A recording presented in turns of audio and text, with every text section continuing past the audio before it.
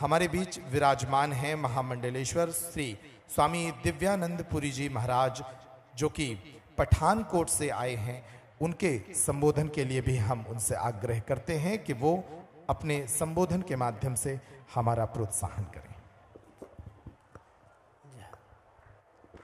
बोलो, भागेश्वर धाम की, सन्यासी बाबा की, भारत माता की गौ माता की सत सनातन धर्म की।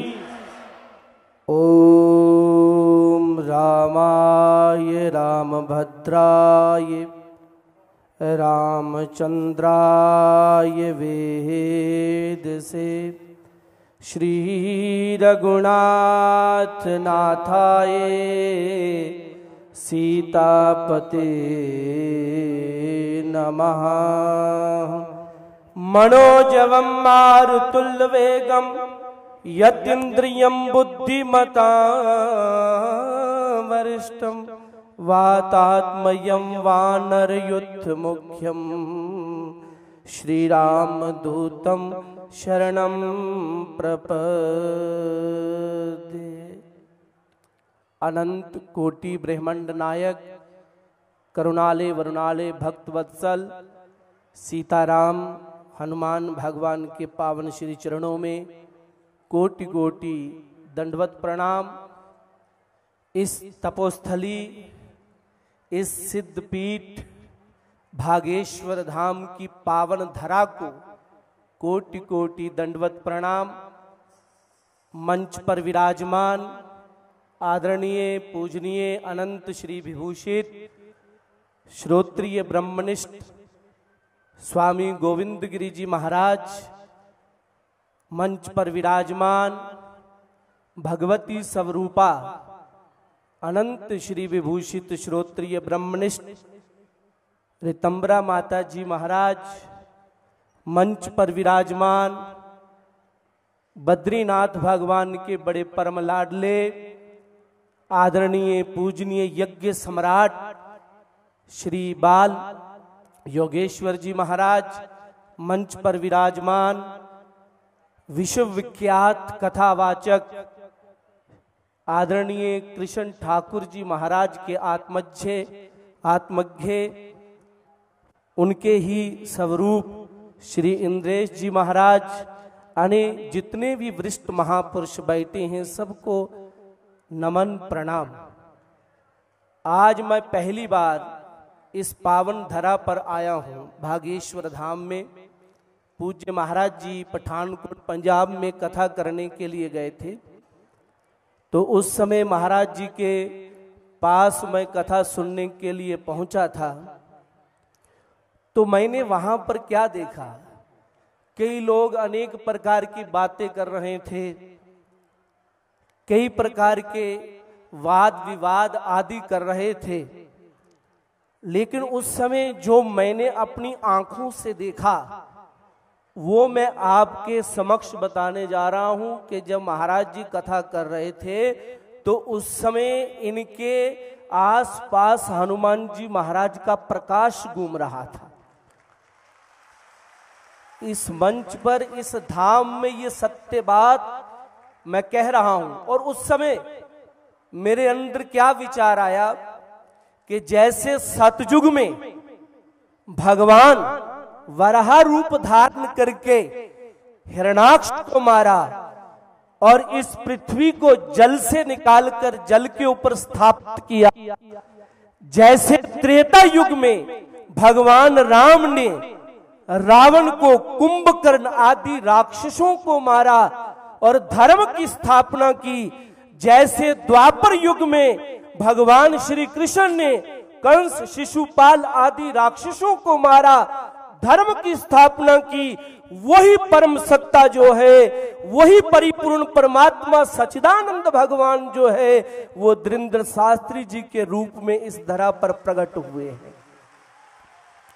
जो निडर होकर सनातन का प्रचार कर रहे हैं, खुली चुनौती दे रहे हैं, हम लोग कथा पढ़ते थे कि हमारे ऋषि मुनि, महामुनि तप करते थे और वो एक स्थान से दूसरे स्थान पर पहुँच जाते थे।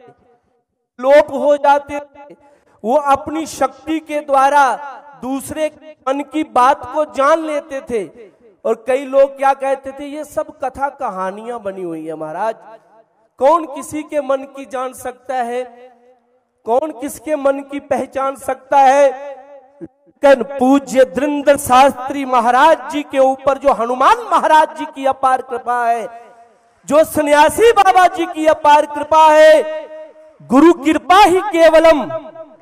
गुरु की कृपा है, ये बात सिद्ध करके बता दी कि हमारे सनातन में कितनी शक्ति है और हमारा हमारा सनातन क्या नहीं कर सकता।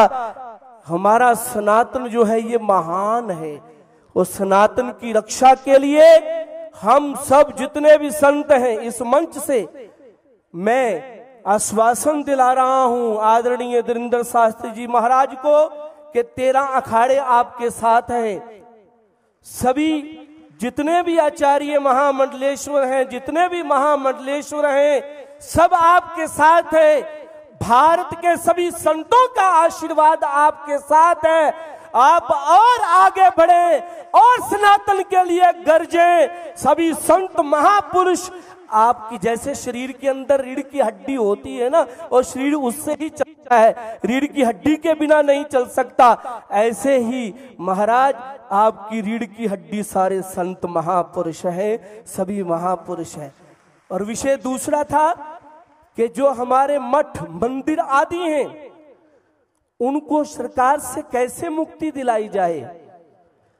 मंदिर का पुजारी जो दिन रात भगवान की आराधना करता है, उसको खाने के लिए कितना भोजन चाहिए महाराज? दो टाइम भोजन करेगा या तीन टाइम भोजन करेगा? उसका परिवार है, वो कितना टाइम भोजन करेगा? दो टाइम, तीन टाइम भोजन करेगा। वो जो भी मंदिर का पैसा है उसको समाज की सेवा में ही लगाएगा। मत सरकार के मन में भी भ्रांति हो कि पता नहीं ये पुजारी पैसा कहीं और ले जाएगा या संत पैसा पता नहीं कहाँ इकट्ठा करेगा। संत की वृत्ति परोपकारी होती है, हितकारी होती है। संत परोपकारी दृष्टि से देखता है। संत संगत का पैसा, लोगों का पैसा अपने ऊपर निजी वर्तता नहीं है, अपने ऊपर निजी इस्तेमाल नहीं करता, वो संगत का पैसा गरीबों के लिए इस्तेमाल करता है। संत का यही मानना होता है कि मेरे भारत का एक भी बच्चा गरीब ना रहे। महाराज स्वामी विवेकानंद महाराज जब विदेश यात्रा के लिए गए, सनातन का प्रचार करने के लिए तो उन्होंने उनको एक बढ़िया कमरे में ठहराया गया। तो उन्होंने क्या किया? कि पलंग जो बढ़िया था ना, उसके ऊपर नहीं सोए। सरहना उठाया और भूमि पर सोए। जो कमरा साफ़ करने वाला आया, उसने देखा कि स्वामी विवेकानंद जी महाराज इतना बढ़िया पलंग त्याग कर, इतना बढ़िया बिस्तरा त्याग कर भूमि पर आसन लगाए हैं और इनका जो तकिया है, जो सरहना है, ये तो गीला है। क्यों? कारण उनसे पूछा कि महाराज, इतना बढ़िया पलंग आपको मिला। आप उस पलंग को त्याग कर भूमि आसन क्यों लिए हो? भूमि के ऊपर क्यों लेटे हुए हो? कहते, मैंने संकल्प किया है, जब तक मेरे भारत की गरीबी दूर नहीं होगी, तब तक मैं पलंग पर नहीं सोऊँगा। मेरे भारत का एक एक बच्चा जो है, वो अमीर होना चाहिए। तभी तो विश्व हिंदू ये जो संस, हमारा भारत है ये बनेगा। यही संकल्प लेकर हमारे दरिंद्र शास्त्री जी महाराज चले हैं और हम सब इनके साथ हैं। सभी संतों का आशीर्वाद साथ है। और देखो प्रयागराज में अगले साल कुंभ आएगा है ना महाराज? और शुरुआत आपने कर दी है। तीन प्रकार का तीर्थ। एक बात कहकर वाणी को विश्राम दूँगा। पहला स्थानीय तीर्थ। दूसरा जंगम तीर्थ, तीसरा घाट में तीर्थ, यहाँ पर तीनों तीर्थों के दर्शन हो रहे हैं महाराज। स्थानीय तीर्थ, बालाजी महाराज विराजमान है, भागेश्वर सरकार यहाँ पर विराजमान है। जंगम तीर्थ मुद मंगल में संत समाज जो जग जंगम तीर्थ राजू साधु नाम दर्शनम पुण्यम। तीर्थ भूता ही साधवा। साधु के दर्शन ही जो है, वो तीर्थों का पुण्य देते हैं। ये जंगम तीर्थ, चलता फिरता तीर्थ, संत महापुरुष जो एकत्रित हुए हैं यहाँ पर। और तीसरा घट में तीर्थ, हमारे घट में गंगा जमुना सरस्वती, प्रयाग, हरिद्वार, वृंदावन, अयोध्या और महाराज गुरु की कृपा से इन्होंने अपने घट में तीर्थ प्रकट किए, इसलिए यहाँ पर तीनों तीर्थों का निवास है और संकल्प हो चुका है भारत को विश्व गुरु बनाने का। और हमारा सौभाग्य है कि हमें ऐसे यशस्वी, ऐसे तपस्वी, आदरणीय नरेंद्र मोदी प्रधानमंत्री जी मिले हैं और जिनकी प्रेरणा से सारे संत महापुरुष चल रहे हैं और संतों की प्रेरणा से वो चल रहे हैं। यही बात कहते हुए वहाँ विश्राम दूँगा। यदि कोई कटु वचन, जहाँ कोई बुरा शब्द कहा गया हो तो क्षमा जाचक हूँ संतों के चरणों में प्रणाम। भगेश्वर धाम की, भगेश्वर धाम की जय।